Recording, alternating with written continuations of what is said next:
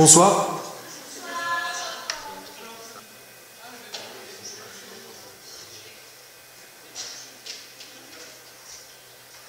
Je vous ai fait les polycopiés. Donc c'est le trousseau. Vous verrez le trousseau, ça, fonctionne comme les, les petits livres Disney. Quand vous tournez la voix de Mickey, vous tournez la page. Mais il y a des pièges. Des fois. On ne sait pas trop. Alors il n'y en a pas assez. Donc je donne au hasard.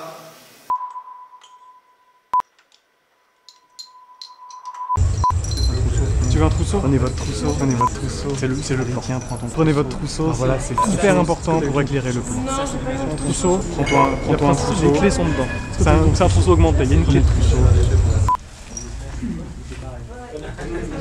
Euh, donc, Euh, L'idée pour vous, là, pour commencer, ça va être de- d'essayer de me faire un silence euh, un peu emphatique, si vous voyez ce que je peux vouloir dire par là.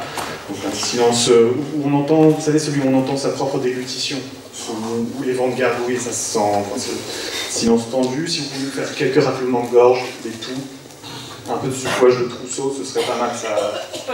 J'en ai besoin pour commencer. Euh, je lance tout de suite. C'est bon Lumière, s'il vous plaît.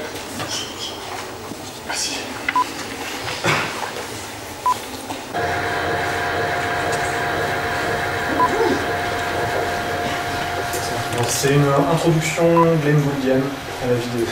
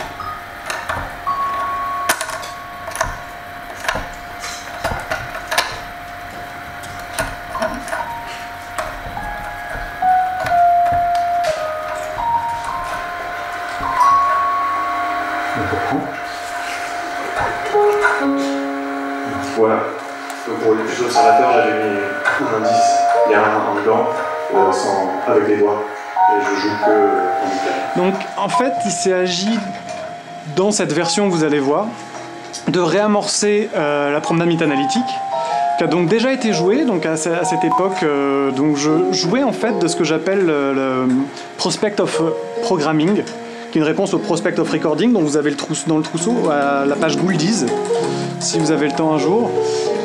Et donc il s'agissait en fait de plus être dans l'acte performé en tant que prouesse, mais dans un acte qui devient automatisé, c'est-à-dire que toutes les notes étaient déjà programmées sur le piano de manière que le trapboard, de manière à ce que quelques notes que je joue, ce soit la bonne note dans le thème à la suite. Voilà. Donc là j'ai joué j'ai joué le playback de cette chose qui était le prospect of programming, c'est-à-dire que j'ai encore décalé. C'est-à-dire que la première performance, c'était le créateur qui était piégé, qui était trappé par les pièges. La deuxième, c'était donc l'interprète, qui était donc un espèce de recréateur actif qui se faisait piéger. Et là, c'était l'idée de vous faire, en tant que recréateur fictif, donc l'audience, de vous donner la possibilité de donc d'être piégé à votre tour. Ici, c'est une promenade, donc une cartographie de partition. Et le moment où il faut la réaliser. Donc, durant cette non-performance, Ce qui s'est passé, c'est que la caméra n'a pas été éteinte après et j'ai eu un retour, donc spectatoral. On appellera Mickey Mood pour des raisons de convenance la personne qui s'exprime et qui, en gros, avec quelques problèmes de compréhension de, ce qui avait été vu. Voilà, il y avait une espèce de, révélation de l'opacité. Voilà. La personne était restée un peu au bord de la promenade. Elle s'était pas promenée avec, nous- avec nous et donc avec moi. Et je me suis dit qu'il fallait peut-être essayer de quand même de résoudre cette chose qui s'était produite, de ne pas la laisser comme ça en latence. Et donc je me suis proposé, moi, le chimiste. Donc le chimiste, je suis un, énonciateur semi-fictionnel. C'est-à-dire que je me suis dit que pour euh, pouvoir interagir avec la fiction et le réel, il fallait avoir un pied dans l'un et dans l'autre. donc je joue des chimes, c'est-à-dire euh, tout ce qui est de l'ordre de l'idiophonie. Et en même temps, je suis agent de la matière. Donc je règle un peu ce qui se passe entre la matière et les sonorités, pour faire simple. Et ma tâche principale, c'est le réaffectionnement. Le réaffectionnement, c'est l'idée de réentrechoquer, donc la frigo, euh, le choc, mais de rejouer cet entrechoquement. C'est donc de réactiver le réel, ou la fiction, on ne sait pas lequel, vraiment est réactivé par lequel, euh, dans un jeu de, jeu de confrontation. Donc la promenade va se dérouler et je vais venir intervenir sur la promenade pour euh, donc lui donner un surplus d'affliction.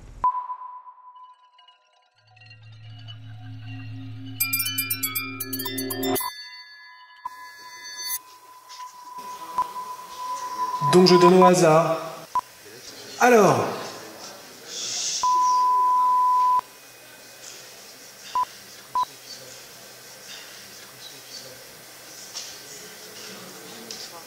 ça sera un peu une façon de commencer. Donc je vais vous demander de comprendre ce que je dis. C'est-à-dire pas tant retenir ce que je vous ai dit, que d'essayer de le prendre en compte pour vous-même. Qu'est-ce que ça peut bien avoir comme intérêt pour vous prendre en compte quelque chose que j'essaye de vous dire Ça veut dire que prendre en compte ce que j'essaye de vous dire, c'est une façon de traduire dans votre propre langue ce que vous comprenez de ce que je dis, donc de ma langue. Alors, traduction, ça vient de tradere, qui veut dire trahir. Donc, au lieu de m'être fidèle, je vous demande de me trahir, c'est-à-dire de trahir mes paroles pour que vous vous les appropriez et que vous arriviez à en faire quelque chose qui soit une création dans votre propre langue. Donc le, 15 mars dernier, j'avais rendez-vous avec le, le Dissécador Sacrificante, Paul Wedger et euh, quelques autres pour euh, préparer l'exposition que j'ai fait ici l'année dernière. Donc ils sont pas venus, alors j'ai fait ça. Et puis... Donc c'est en lien avec ce logo que j'ai jamais vraiment complètement compris sans jamais poser la question, parce que je me disais que devait y avoir une, bonne raison et que c'était jamais vraiment le moment. Donc j'ai commencé à, lancer une enquête, euh, une analyse euh, mythe-analytique pour cette promenade mythe-analytique, et je me suis rendu compte que déjà j'avais fait une erreur. J'ai commencé par tomber dans le piège, c'est-à-dire que j'ai posé euh, l'objet comme champ et le sujet comme euh, éventuel objet. Donc il y avait déjà une erreur. J'ai mis du champ, j'ai mis Mickey dans du champ. Et le logo mercien, ça n'a jamais été ça. Donc il m'a fallu rétablir cette vérité, et je me, je me suis posé la question de comment on, rejoignait les choses, et donc j'ai exploré un peu du chant, et je me suis dit qu'il y avait une chanson que j'avais quand j'étais petit, du chant est normand. Il a vécu à Blainville, pas très loin de là où Paul-Jacques Villebert a grandi. Et c'est une chanson qu'apparemment que les Normands connaissent. Alors si vous la connaissez aussi, n'hésitez pas à chanter. Ça fait comme ça. J'ai perdu ma clé. Moi aussi. Dans un champ de blé. Moi aussi. Je l'ai retrouvée. Moi aussi. Dans un champ de blé. Moi aussi. J'ai perdu ma clé. Moi aussi. Dans un champ de blé. Moi aussi. Je l'ai retrouvée. Dans un champ de blé. J'ai perdu ma clé dans un champ de blé. Je l'ai retrouvé dans un champ de blé. Ok, donc, donc je vais danser.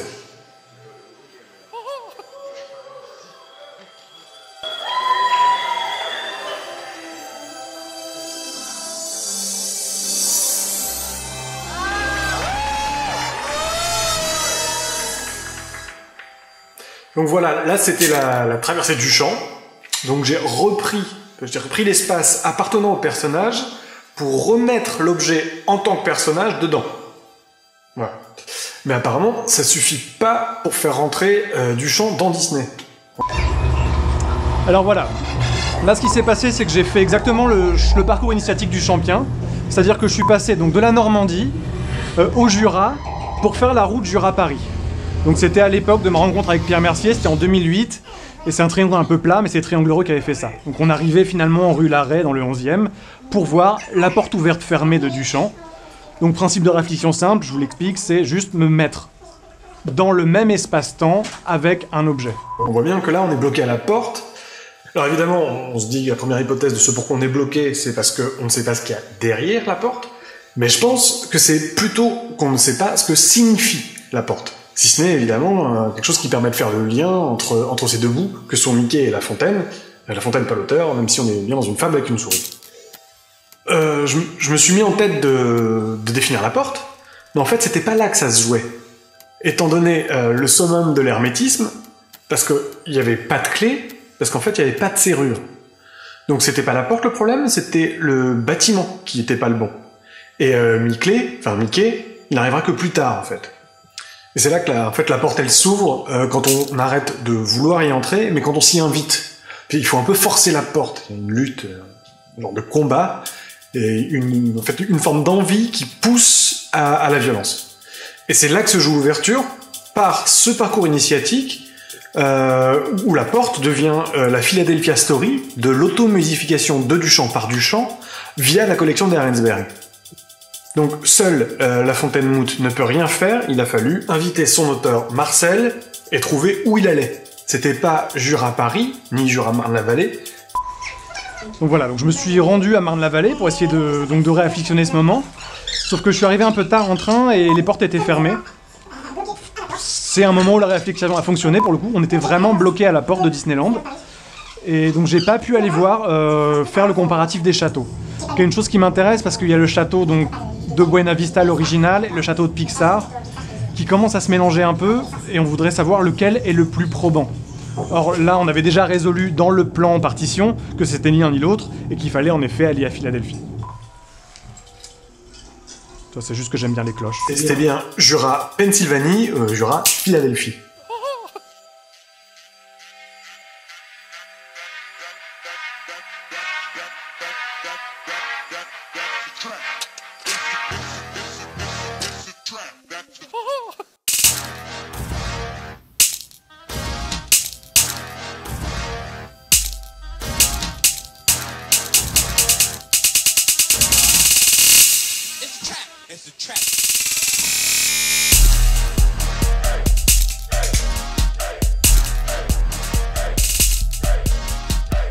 C'était là le deuxième trap mercien, le, piège de la porte. Euh, donc l'important c'était pas le franchissement mais le moteur du rejet qui permet de franchir, donc l'arrivée à la love loop. C'est le rapport du champ à la hors-champisation. Alors un dernier moment de réflexion, après je vous laisse un peu tranquille. Donc je me suis rendu donc au musée de Philadelphie pour essayer donc de réafflictionner tous ces éléments du champion. Euh, donc on a pu constater qu'en effet il y avait bien des gens qui jouaient Rocky dans les marches, ça c'est validé. Ensuite, euh, en rentrant donc dans le, donc je me suis trompé d'aile euh, lié au problème d'étage et des dénominations d'étage euh, aux États-Unis, c'est-à-dire que je me suis rendu au premier alors qu'en fait le premier c'est le rez-de-chaussée. Donc déjà, je, on me voit monter, il a fallu que je redescende pour chercher le, bon étage, l'étage du champion. Ce qui fait qu'en fait vous verrez une modélisation qui est fausse euh, dans le plan partition à la fin. C'est bien au rez-de-chaussée européen qu'il faut aller pour, pour voir les œuvres du champ. Donc là je me réafflictionne tout simplement avec toutes les pièces. Euh, donc je suis dans le même espace-temps, Euh, elles existent, la chose est accomplie, dirons-nous, le plan partition a, atteint sa réaffliction au moins minimale. Donc voilà, là, juste une action avec l'audience. C'est très didactique. hein. Et là, je me suis rendu à l'Ardrossan Estate, c'est-à-dire c'est le- l'endroit où George Cukor voulait tourner la scène, euh, voulait tourner tout le film d'ailleurs, le Philadelphia Story, euh, qui était en fait la maison de Helen Hope Montgomery Scott, qui est le personnage, enfin le personnage réel, qui a servi d'exemple à Katharine Hepburn dans le film, qui était une grande socialite et qui accueillait plein de gens, dont Katharine Hepburn, et ils se sont fréquentés à l'époque. Donc j'ai été bloqué à la porte parce que c'était privé, et la chose s'est jamais tournée là-bas. Donc la Love Loop, pour faire vite, c'est un tiré de Philadelphia Story de Q-Core. C'est un outil de démêlage euh, dichotomique par la mécanique d'attraction-réjection.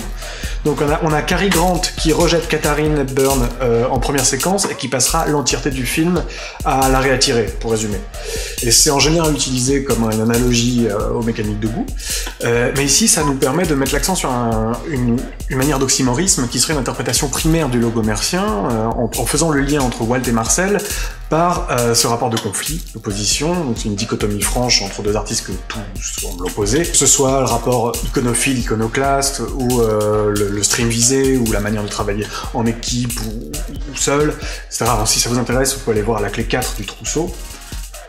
Et on a donc immédiatement un nouveau trap mercien hein, et- qui serait de confondre l'oxymorisme et l'assemblage frictionnel. L'assemblage friction qui permet de penser l'un, l'autre et l'entre-deux en même temps. Et c'est ce qui permet de faire le lien en posant l'égalité de La Fontaine, euh, qu'on a mis Moot, et euh, de Mickey, sous ce terme d'œuvre. Donc une égalité qui va nous permettre de poser une équation qui va nous permettre d'arriver à Mickey euh, comme une figure euh, représentant le logo mercien. Donc on est bien dans un assemblage frictionnel, hein, on a friction logiquement entre Mickey rétinien et Moot euh, conceptuel, mais Mickey ce sont les oreilles, donc l'audience dans une audience par opposition au regardeur, donc la figure fait le lien, l'assemblage. Et c'est là que la porte devenue trappe devient clé, et qui va nous mener à la planche à trappe au lieu de la planche à clé, donc c'est bien le piège qui fait passer la porte et pas la clé.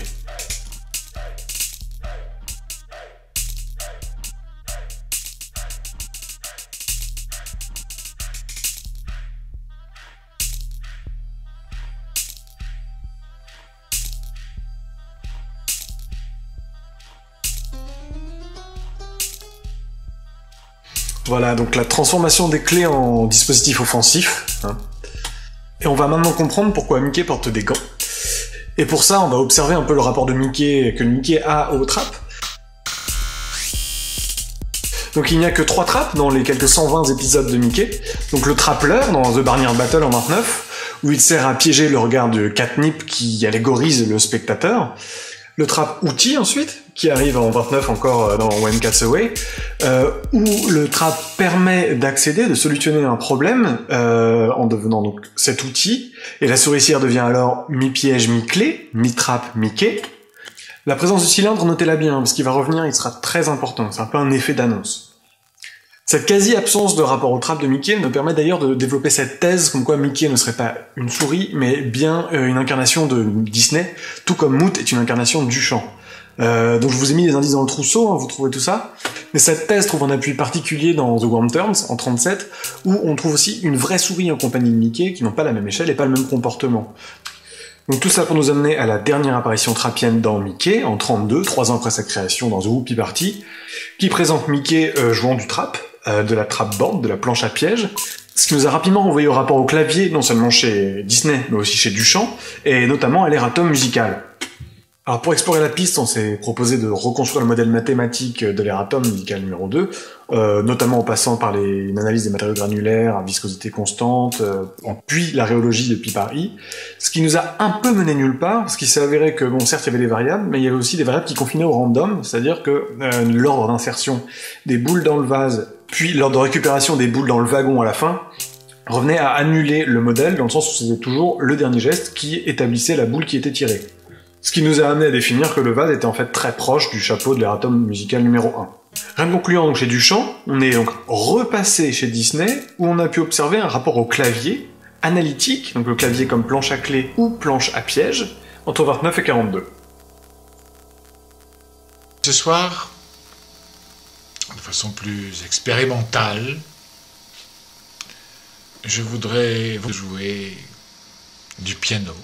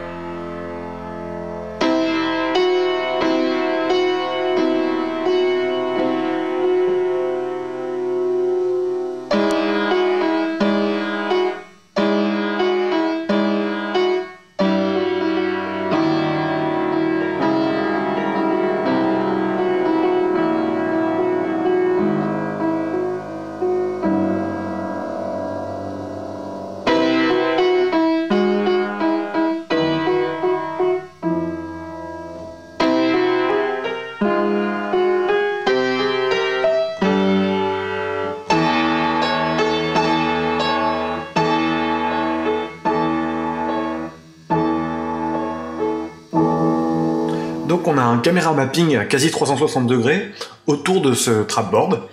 Et je dis quasi parce que en plaçant le trapboard comme centre, on a un angle de 90 degrés qui est laissé vierge de toute image de projection et qui correspond en fait à la position spectatorale prévue par Disney. C'est-à-dire qu'on a un 270 degrés autour de l'angle droit du piano, et ça c'est pour la planche à clé, et la seule image qui donne contre-champ, c'est notre planche à piège de la Whoopi Party. Et si on transpose donc ces 90 degrés à la verticale, on obtient un range dans lequel doit se trouver non plus le spectateur mais le regardeur pour donner sens à la fontaine. Et le point marquant le trapboard devient la cible du franco-saxon Scheibe. Euh, le disque est populairement le rond. Le rond qui, pour exister dans l'espace réel, doit être extrudé en cylindre, en rondin. Ce rondin qui permet de répondre à la pseudo-dichotomie du logo mercien. Car il n'y a jamais eu seulement deux composants héraldiques dans le logo, mais bien trois. C'est un holotrape mercien, car le rondin a toujours été au centre de la fontaine, et on doit le viser pour accéder à ces différentes conceptions. Donc avec le rondin comme référent, on est ici dans un pointer receiver, ou pointer du champion, donc c'est bien le regardeur qui vient remplir l'œuvre, il vise, c'est son attention qui fait, et il s'oppose au flusher, comme on peut voir maintenant, dans une opposition synégétique, qui vient de la chasse. Le pointer c'est celui qui tombe en arrêt et désigne le gibier, et le flusher c'est celui qui ramène la proie. Donc le flusher, c'est une position un peu particulière. Le flusher de contenu, comme on a ici, serait l'hypothèse d'une œuvre sans spectateur, donc qui s'alimente d'elle-même, et où la cible devient le point d'évacuation nécessaire pour éviter le débordement. Alors évidemment, quand je dis artiste sans audience, c'est plus ne pas faire pour l'audience, c'est faire un peu malgré elle plutôt que de faire sans audience littéralement. Pour faire fontaine, on remplace donc le jet remplisseur par un dispositif de nettoyage, d'évacuation. Alors mes excuses si tout ça semble un peu potache, mais il s'agit en fait d'un pendant à des Proctologica Melancholium de Pierre Mertier, qui reprend sa réflexion sur les lartrines, lieu qui doit être rendu adéquat à la miction, qui est plus procto-hémétique dans des Proctologica, et on en explore ici le pendant uro-hémétique. Alors niveau interprétation, l'opposition flusher-pointer n'est pas suffisante. On se retrouve rapidement avec une fork, au moins au niveau du pointer, parce que si on considère le cylindre non plus comme patient mais comme agent, on est obligé de dégager le pointer émetteur, donc en opposition au pointer receiver qu'on avait avant. Donc c'est l'œuvre qui envahit le public, et c'est donc le pointer disneyen, où on trouve cette idée d'une démarche entrepreneuriale qui cherche à devancer le regard du spectateur, à aller en amont de l'offre euh, pour créer une demande et modifier cette demande. Et c'est comme ça que les studios se sont développés au travers de Mickey, contre l'attente des producteurs et du spectateur, en imposant notamment le synchro, le passage à la couleur, les modifications d'anime, etc. Et donc pour faire face aux deux pointers, il nous faut bien donc deux flushers. On avait le flusher de contenu, il nous faut le flusher de contenant. Donc le flusher mercien, une forme d'ultimate flushing qui traite de l'artiste sans œuvre. Ce qui nous permet d'une part d'éloigner du champ de la thèse de Joannet et donc le pointer euh, receiver de la question de l'artiste sans œuvre, de par son incompatibilité avec l'automusification qu'on a vu plus tôt, et d'autre part de reposer l'artiste comme référent au centre du sujet, l'œuvre ne devenant qu'une forme de superfluide superflu pour faire le lien. Et c'est là que le rondin se fait clé, par cette opposition des flushers, par une désignation mercienne de l'attribution du flusher de contenu. Et donc le rondin, c'est Auguste, défenseur pendant la première partie de sa carrière, disons jusqu'en 1880, d'une position d'artiste sans audience, avec une posture qu'on pourrait qualifier anachroniquement de nécessité intérieure, et cette satisfaction technicienne de l'imitation de la nature, l'idée d'un faire qui viendrait avant le montrer, et où même le montrer se devrait d'être révélateur du faire. Voilà, réaffliction rapide de Rondin. Euh, donc on était au musée Rondin de, de Philadelphie et on a pu voir euh, les bourgeois de Calais de Rondin. Voilà, c'est une réflexion simple. Espace, temps, je suis là, je suis très didactique. Je vous montre que j'étais dans le même espace. En deux plans. J'y étais bien, quoi. Et c'est donc en lumière de ce rondin qu'on a essayé de faire une corrélation entre nos six protagonistes. On se sert de la thèse de Grunfeld selon laquelle Rodin aurait utilisé le même visage plusieurs fois avec ou sans Moutte au carré, donc Moumoute le postiche. Et c'est donc ce portrait d'Auguste Beuret, le fils de Rodin identifié par Cladel, qui permet d'affilier les trois créateurs. Le plus important et le seul nommé par Rodin dans ses correspondances, Eustache de Saint-Pierre-Mercier. Le duo des 800 pour Walt et Miclé. On note d'ailleurs le ensign en trois doigts qui donne le M pour Jacques et le W pour Pierre. On a ensuite le duo des Jean, d'Hermout et de Fienne, pour la deuxième Miclé, La Fontaine et Marcel, et les deux Miclés vont venir s'amalgamer dans le AA alchimique, Andrieux-d'Andre, pour Mickey Mout. Le projet, ce second projet, était bien différent de l'architecture triomphale qu'il avait pour référence avant qu'il n'ait la confirmation de la commande. Et ce second projet, de la deuxième maquette, il proposait de poser les figures des bourgeois au sol, sur une place publique ou dans un jardin, et de les espacer de telle sorte que le spectateur puisse s'intégrer physiquement au groupe, au point d'en être un des éléments, et ainsi d'accomplir pleinement la réalisation de l'œuvre. Voilà, donc on est bien en présence des bourgeois de Calais qui amènent deux clés, qui sont des mi-clés, amalgamées en Mickey Mout, notre trappe. Et c'est cette thèse de l'éclatement énoncée dans les promenades bourgeoises qui relance ce trappe mercien. La légende d'une volonté révolutionnaire, passage de la sculpture à l'installation, qui aurait été rejetée par le spectateur et les commanditaires. Donc on est là face à Rondin et le mythe du socle du réflexe spectatoral, mythe mis en scène entre autres dans les biographies plus ou moins commanditées de Rilke et de Xel. Et c'est là que le trappe mercien se tend, par la revendication de l'influence de l'ouvrage de Judrin, Laurent et Vieville, qu'il a toujours cité et recommandé en cours à ses étudiants, et utilisé comme texte de référence pour forger ce mythe. En effet, c'était un nouveau test faisant partie de la stratégie mercienne, incitant l'étudiant à lire l'ouvrage pour se rendre compte que loin d'étayer la thèse, il démontre clairement son inexactitude. On voit à travers les échanges avec De Wavrin qu'il n'a jamais été question que d'un rabaissement au niveau du spectateur de l'intégralité du groupe, le rejet de cette deuxième proposition ayant coupé court à toute autre proposition de modification. Mais tout ça nous permet de nous rendre compte de la lutte entre le cube du socle et la ronde de Rondin pour faire émerger la pensée, puis la maltraiter comme un bon prix à patriarque. Alors voilà, là c'est un peu le moment, le point culminant de la réaffliction, c'est le moment où je me suis rendu au musée de Philadelphie, dans l'aile droite, non loin du champ normalement, on trouve la pensée de Rodin, et la pensée de Rondin n'était pas là. Donc j'ai demandé au, gardien, la pensée de Rondin était sortie, euh, donc je suis dit ok. Donc entre temps j'ai été au Mess de, New York, il n'y était pas non plus, et à- musée de Brooklyn où il y avait aussi une exposition Rondin, et il n'y avait pas non plus de Rondin. Donc je me suis rendu au musée Rondin de, de Paris, donc euh, j'ai été voir, euh, essayer de trouver désespérément la pensée, et la pensée était aussi sortie. Donc c'est là que j'ai commencé à avoir des pistes sur ce que disait Mickey Mood dans la scène d'entrée, c'est-à-dire que cette promenade, en tant que partition, était peut-être fonctionnelle, mais en tant que réaffliction, on y perdait la pensée. On, avait beau essayer de la chercher, on pouvait la représenter, mais on pouvait pas y accéder. Et c'est tout le jeu de cette double mythification-mystification du faux sacrifice. Le premier faux sacrifice, celui des vrais bourgeois de Calais orchestré par Froissart, alors qu'il s'agissait vraisemblablement d'un accord commercial, et le second, celui des bourgeois de Rondin, que l'on croit sacrifier à l'audience, alors que c'est le sacrifice par Rondin de son lui passé pour une pensée postérieure qui permettra son automusification. Donc plus qu'un propos sur l'installation, cette trapière nous montre comment la parole peut subtiliser le sens de l'œuvre. Et c'est là que j'ai commencé à comprendre. Au regard de la postérité, l'œuvre cède le pas à ce qui en est dit. Autrement formulé, c'est bien le langage, le logos, qui laisse son empreinte tipus. Et c'est là l'ultime trappe mercien, le sens du logotype était pour lui-même en tant que logotype. Tout le trouble, ce n'était que pour nous emmener en promenade et répondre à ce débat Gilberto-mercien inachevé. Il est inenvisageable d'avoir un artiste sans audience parce qu'elle est ce qui dit sur l'œuvre et ce en quoi elle est empreinte. Réaffliction rapide de l'homme qui marche. J'étais très déçu de pas avoir trouvé la pensée, donc je me suis rabattu sur l'homme qui marche.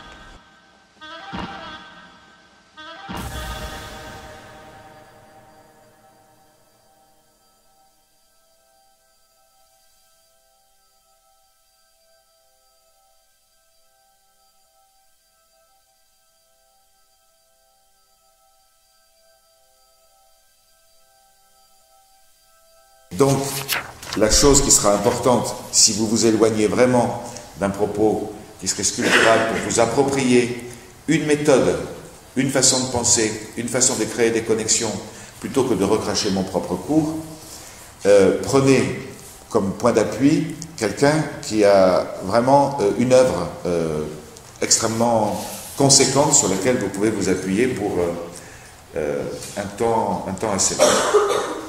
Mais attention, euh, prenez un grand. hein. Vous allez vous inventer un père. euh, vraiment, prenez-le idéal. hein, respecté par tous. Voilà, on a presque, euh, je pense, fini pour l'apéritif.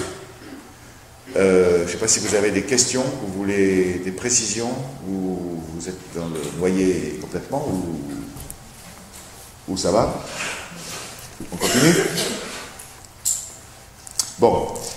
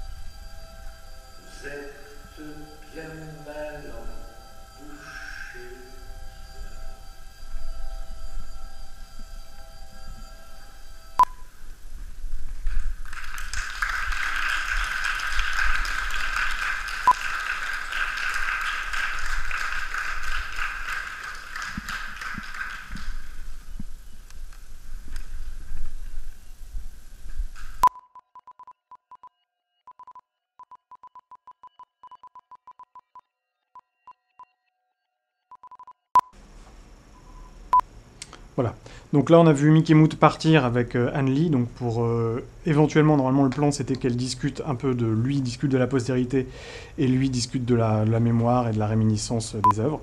Mais on va réappeler donc euh, Mickey Mout pour qu'il vienne nous réécouter. Donc on va appeler Gould pour qu'il lui prête une chaise, une assise, et donc Mickey Mout pourra venir dessus pour, nous- pour éventuellement nous écouter. Voilà, donc l'idée c'était de, étant donné la réaffliction, de repartir de cet espace qui nous avait été donné aujourd'hui et de se dire qu'est-ce que ça a apporté en fait cette réaffliction? Est-ce que, est que vous avez eu un apport vous en tant qu'audience? Donc euh, vous vous vous situez à peu près ici. hein. Vous êtes là. C'est donc c'est vous qui donnez ça en fait. C'est vous qui avez euh, donc déclenché euh, vous comme ensemble. Et l'idée, c'était donc, j'a- j'avais trois questions principales euh, pour réactionner Mickey Mout. La première, c'était de savoir si donc la réaffliction était un apport. Donc, est-ce que euh, le fait d'avoir donc réalisé le plan partition de la promenade vous a semblé être quelque chose qui apportait au propos, euh, vous a semblé être une bonne piste pour peut-être éventuellement trouver la pensée? J'ai l'impression qu'on a déjà la réponse dans l'expérience, mais voilà, je voulais savoir s'il y a quelqu'un qui veut prendre la parole ou sinon on peut faire un vote à main levée, c'est plus simple. Je pense qu'on va faire. Donc, qui a pensé que cette réaffliction était quelque chose de, positif, quelque chose qui a amélioré? Réafflictionnement. Donc, euh, et négatif, donc? Négatif. Et donc euh, les autres se prononcent pas.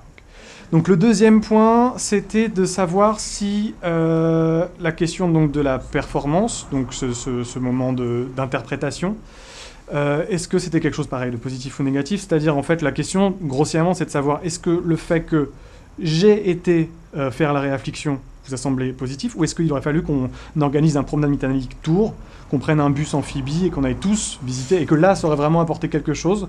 Ou est-ce que là, que je le fasse seul, n'apporte en, vrai rien ou pas grand-chose? Voilà, donc qui a pensé que ça apportait quelque chose? Et le, le- ouais, promenade métallique tour, donc plus ou en bus, bus, euh, bus amphibie, d'accord. Donc, euh, le troisième point, qui est plus René Pacrette, on pose des questions très René Pacrette, mais je me dis, on, les réactionne dans l'hypermodernité, c'est important.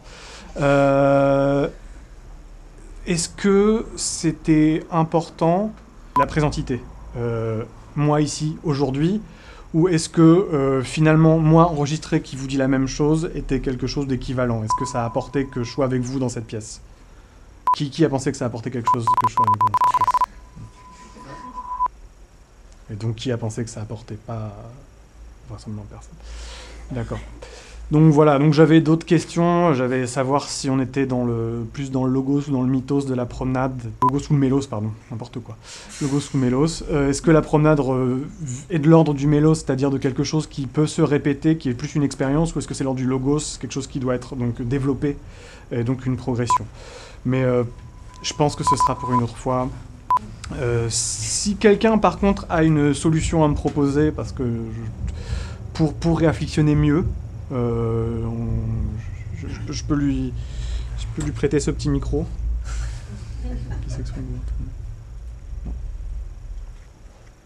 C'est gentil quand même. Eh bien, Understood. Thank you all. Bye.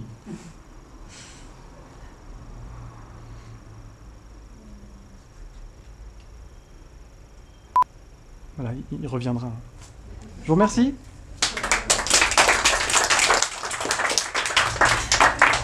Le comeback, Glenn Gould, merde. Merci beaucoup. Juste une petite question. euh, Oui, oui, des questions. seras avec ta GoPro Bien sûr. et tu vas la réutiliser euh, les restes. euh, Vous, serez, vous aurez des têtes de Mickey Mouse, vraisemblablement. D'accord.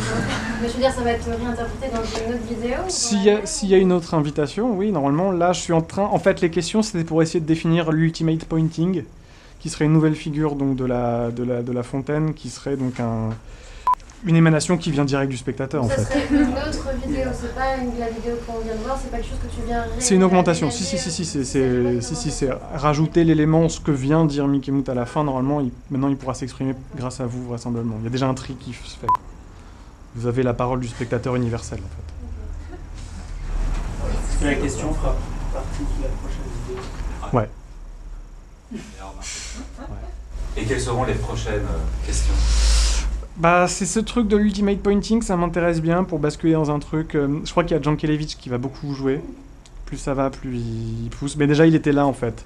Dans tout ce qui est logos, mélos, en fait, ça vient de lui. Et le, spectateur, le, recréateur fictif et le recréateur actif, c'est lui aussi. Et je pense qu'il va pousser pour euh, plus vers la musique, pour en fait définir la promenade comme un mélos. Donc comme quelque chose où en fait si on a perdu la pensée, c'est que c'est normal, c'est qu'on n'est pas dans un développement. Et que la promenade a pour... La meilleure promenade, c'est celle où on arrive à son point de départ, sinon il y a une partie de la promenade qui n'est pas une promenade. Si je me promène et que j'arrive à 10, 10 km de chez moi, j'ai 10 km où je me fais chier en fait. Voilà, donc c'est en fait c'est d'arriver à boucler le- l'absence de pensée par la nécessité d'absence de pensée dans, dans la promenade. Si on veut penser, il ne faut pas se promener. Et donc, a priori, cette vidéo ne pourrait se terminer, enfin, cette promenade ne pourrait se terminer qu'en faisant exactement la même chose à l'envers. C'est impossible. Pourquoi? Bah parce qu'en fait on remonterait la piste, mais pour le coup on saurait. Il n'y aurait pas cette découverte du, de l'absence de la pensée. C'est il y a absence de pensée. C'est le ce que dirait Jean Kelevich, c'est que oui en effet la, la musique peut se lire dans un sens ou dans l'autre, et que c'est pas un, vu que c'est pas un développement et vu qu'il n'y a pas de il y a pas de référent qu'on peut interpréter comme étant des éléments de sens, mais que la musique est un sens en elle-même, c'est comme la promenade en fait. La promenade n'est pas un cheminement ou des éléments qui s'agglomèrent pour faire un développement, mais c'est un sens d'être une promenade. Peut-être. Voilà. Euh. Donc là, là, la- cet espace va se transformer en, en coulisses. Vous pouvez rester si vous voulez me voir cheminer. Vous